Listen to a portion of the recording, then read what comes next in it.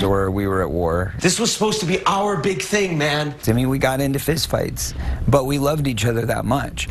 That's what brothers do. You've said that this film is the G-rated version of an X-rated story. That's very true. How watered down is this version? It's very watered down.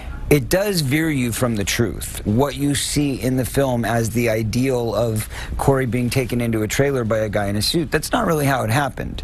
But that's how the lawyers made me say it happened. How did it happen? Well, I can't say exactly how it happened because I wasn't there. I would be sued for defamation. However, I can put it into a film as part of a storyline, and that's what I intend to do. So the truth will be revealed if people donate to my campaign. Feldman calls it his Truth Campaign, an effort to raise $1 million through crowdsourcing to fund the real film he wants to produce. One he says would include allegations of past sexual abuse by several Hollywood men. Feldman has already publicly named two men he claims molested him when he was a teen, but says he knew of alleged abuse by other men as well. So you know the names of the men who you say abused Corey Haim, your Yes. friend, that you witnessed them walking into a room and Corey then telling you what happened. And also, Corey telling me beforehand, hey, this happened to me. This is what happened to me when I was 13 years old.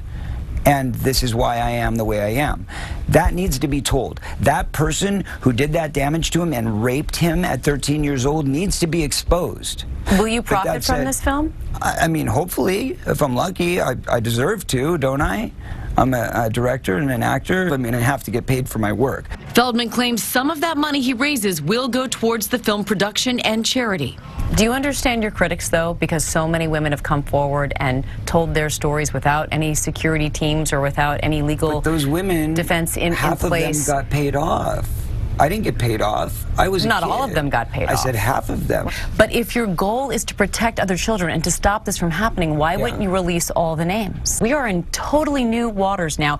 When you say something, you're believed in a way you weren't before. Okay, and that's now nice of you to say. investigations in. So in when the lawyers come after me and they start arresting me, are you going to be there to defend me? The bottom line is I'm not an accuser. I'm a victim and I'm a survivor. I have done what I have done to try and help other people. It's true. But at the end of the day, I'm a producer of a movie. Feldman says he has not been offered any free legal protection to defend him if he were to reveal more names. I am making the movie to expose my truth. I'm not just going to throw it out there and be slain down. If you or anybody else wants to tell me that you're willing to give me the legal protection that I need, let's go. Now, the 46 year old says he is continuing his fight to honor Haim, who died of pneumonia in 2010. what do you think Corey Haim would say about what you're doing and what you're trying to accomplish? He's the one who asked me to do it.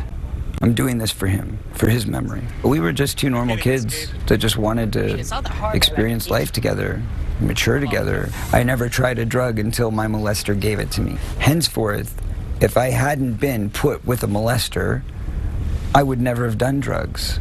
I would never have been arrested. I would never have had these terrible things happen in my life. And we would be having a very different conversation today. Feldman says he told police about his abuse back in 1993, but investigation was never pursued. After apparently missing for years, those recordings of his interview with police were recovered just last month and turned over to the LAPD. Feldman is hoping a new investigation is launched into those men, but the LAPD will not comment on the matter. A Tale of Two Coreys premieres this Saturday, January 6th on Lifetime.